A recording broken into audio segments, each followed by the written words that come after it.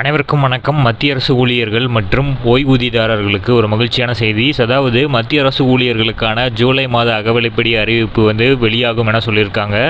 So எத்தனை சதவீதம் அப்படிங்கிறதும் வந்து உறுதிப்படுத்தியிருக்காங்க. இதை பற்றின முழு விவரத்தையும் இந்த வீடியோவில் பார்க்க போகிறோம் ஸோ ஸ்கிப் பண்ணாமல் கடைசி வரைக்கும் பாருங்கள் நம்ம சேனலை சப்ஸ்கிரைப் பண்ணாதாங்க பண்ணி வச்சுங்க. நம்ம சேனலில் சென்ட்ரல் மற்றும் ஸ்டேட் கவர்மெண்ட் சம்மந்தமான ஆல் அப்டேட்ஸ் போட்டுருவோம். அது மட்டும் இல்லாமல் பென்ஷன் சம்மந்தப்பட்ட முக்கியமான அப்டேட்ஸும் இருக்கும்.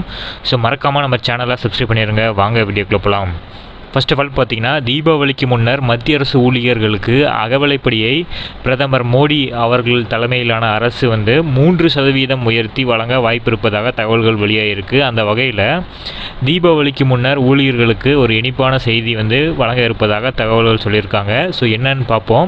தீபாவளி பண்டிகை வரும் அக்டோபர் முப்பத்தி ஒன்றாம் தேதி நாடு முழுவதும் கொண்டாடப்பட இருக்கிற நிலையில் ஸோ புத்தாடைகள் இனிப்புகள் பட்டாசுகள் என கொண்டாட்டம் குதூகலம் நிறைந்திருக்கும் வேளையில் தங்களுக்கு போனஸ் வழங்கப்படுமா என தனியார் துறை ஊழியர்கள் மட்டுமின்றி அரசு ஊழியர்களும் வந்து ஆவலோடு வந்து காத்திருப்பார்கள்.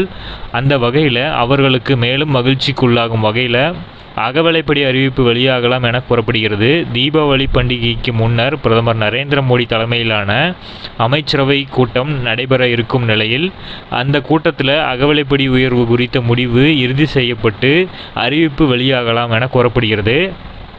கடந்த அக்டோபர் ஒன்பதாம் தேதியும் மத்திய அமைச்சரவை வந்து கூடியது. அப்போதே அகவலைப்படி உயர்வு குறித்த அறிவிப்பு வெளியாகலாம் என்று எதிர்பார்க்கப்பட்டிருந்த நிலையில் அப்போது வந்து பார்த்திங்கன்னா இந்த ஹரியானா மற்றும் காஷ்மீரோட அந்த தேர்தல் முடிவுக்காக வந்து காத்துட்ருந்தாங்க. அதனால் அந்த அக்டோபர் ஒன்பதாம் தேதி மத்திய அரசு வந்து எந்த ஒரு அறிவிப்பும் வந்து அந்த அமைச்சரவை கூட்டத்தில் வெளியிடாத சூழ்நிலையில் இருந்தாங்க.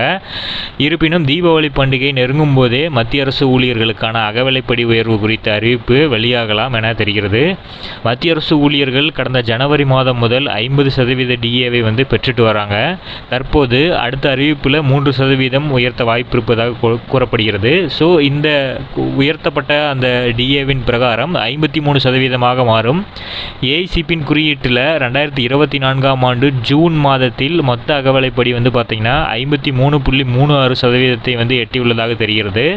அந்த வகையில் அரசு வந்து மூணு சதவீதத்தை மட்டுமே உயர்த்த திட்டமிடும் என கூறப்படுகிறது. மத்திய அரசு லெவல் ஒன் ஊழியர்களுக்கு ஏழாவது ஊதியக்குழுவின் பிரகாரம் பதினெட்டாயிரம் ரூபாய் முதல் ஐம்பத்தி ஆறாயிரத்தி தொள்ளாயிரம் வரை அடிப்படை ஊதியமாக வழங்கப்படுகிறது. இதை வைத்து பார்த்தால் தற்போது குறைஞ்சபட்சம் பதினெட்டாயிரத்தை அடிப்படை ஊதியமாக பெறுபவர்களுக்கு ஐம்பத்தி மூணு சதவீத டிஏவின் மூலம் மொத்த சம்பளம் எவ்வளவு கிடைக்கும் என்பதையும் அதிகபட்சமாக ஐம்பத்தி ஆறாயிரத்தி தொள்ளாயிரம் ரூபாய் வாங்குபவர்களுக்கு எவ்வளவு கிடைக்கும் என்பதை வந்து நம்ம பார்ப்போம். பதினெட்டாயிரம் ரூபாய் அடிப்படை சம்பளம் வாங்கக்கூடிய நபருக்கு வந்து தற்போதைய ஐம்பது சதவீதம் அதாவது ஒரு மாதத்திற்கு ஐம்பது சதவீதம்ங்கிறது ஒன்பதாயிரம் ரூபாய் வந்து கிடைக்கும். அதே நேரத்தில் மூன்று சதவீதம் உயர்ந்து ஐம்பத்தி மூணு சதவீதமாக இருக்கும் பட்சத்தில் ஒரு மாதத்திற்கு ஒன்பதாயிரத்தி ஐநூற்றி நாற்பது ரூபாய் வந்து கிடைக்கும். இந்த அகவிலைப்படி உயர்வின் மூலம் ஐநூற்றி நாற்பது ரூபாய் கூடுதலாக வந்து அவருக்கு கிடைக்கும்.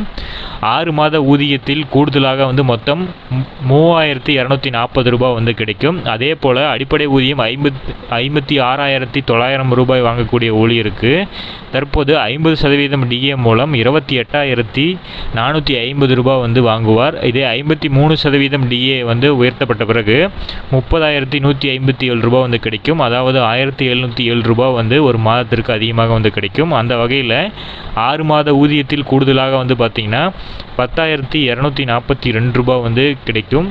ஸோ இது வந்து பார்த்திங்கன்னா மத்திய அரசு ஊழியர்கள் மற்றும் ஓய்வூதியதாரர்களுக்கு ஒரு மகிழ்ச்சியான செய்தி தான் இதை பற்றின மேலும் அறிவிப்புகள் வந்த உடனே நம்ம சேனலில் உடனடியாக அப்டேட் பண்ணுவோம். ஸோ மறக்காமல் சப்ஸ்கிரைப் பண்ணி பக்கத்தில் இருக்கிற பெல் ஐக்கனையும் ப்ரெஸ் பண்ணி அதில் ஆல் அப்படிங்கிற ஆப்ஷனை கொடுத்துக்கோங்க. அப்போ தான் நான் போடக்கூடிய ஒவ்வொரு வீடியோவும் உங்களுக்கு வரும். தேங்க்யூ